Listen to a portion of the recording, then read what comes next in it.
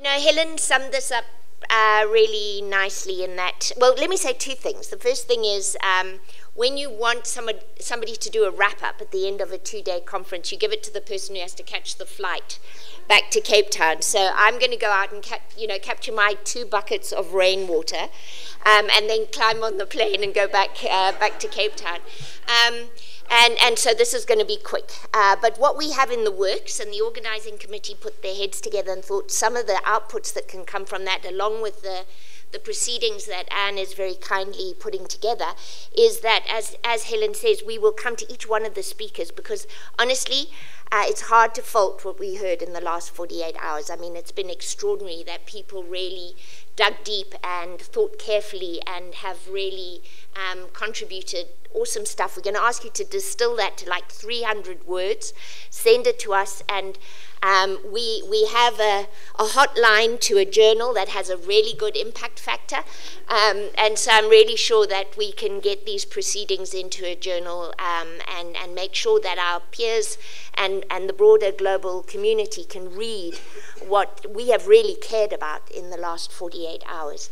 In addition, um, you know, I think it was pointed out by Lucy and others, is, sorry, Jürgen, and, and our government officials, it's got to be one page for government officials, and it's got to be, you know, very simple kind of, because that's all they have time to read. So we will also come up with a, um, a plan of action, um, sort of, you know, what we believe needs to happen in the next 12 months. We'll write that down. When we come back again to this workshop in a year's time, the idea will be to look at that very critically and say, what have we achieved and what do we still need to do? So, so th those are the two main proceedings we see coming out of this. Um, and so do look out. We'll be coming back to you to say, have we captured this right? Is this what you really think? Uh, we hoped we'd have it together by now, um, and we set out ambitiously this morning to see if we could, but, it, but actually it needs a bit of time and a little bit of uh, reflection just to be sure we capture those 10 points very carefully. So watch out for that in your inboxes.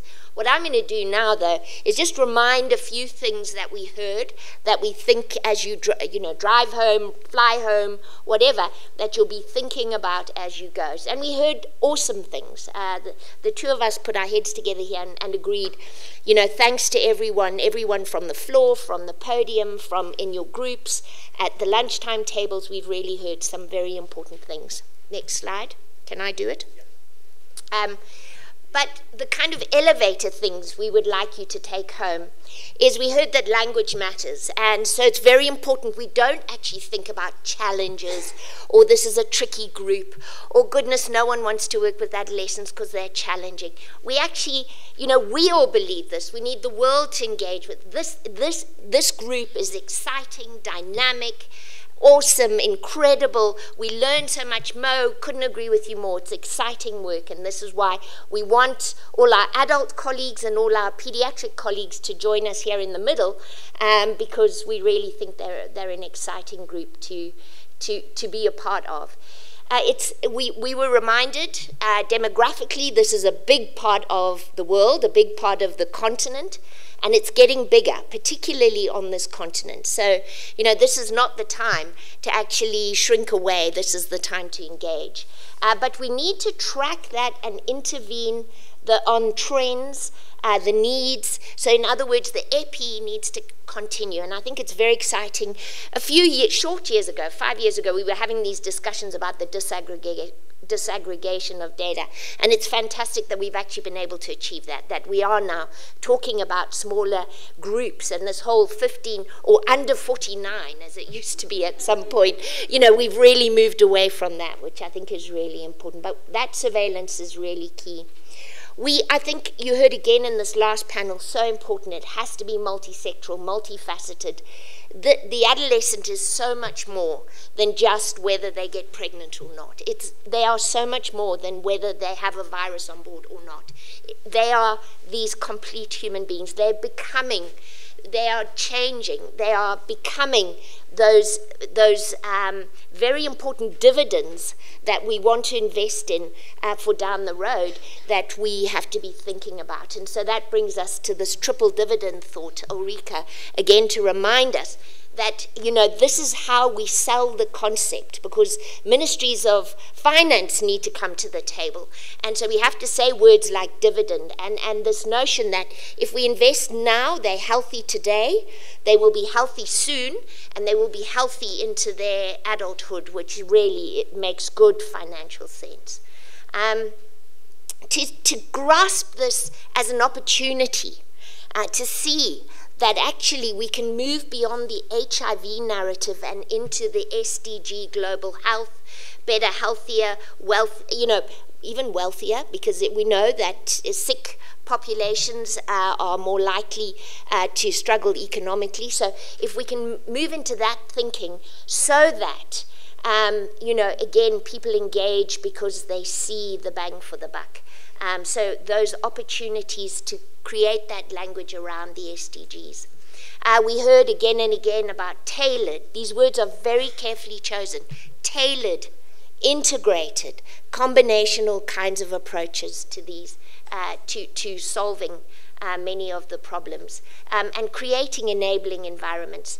Um, again, I'm lucky. I'm in a country where I think laws uh, favor many good things.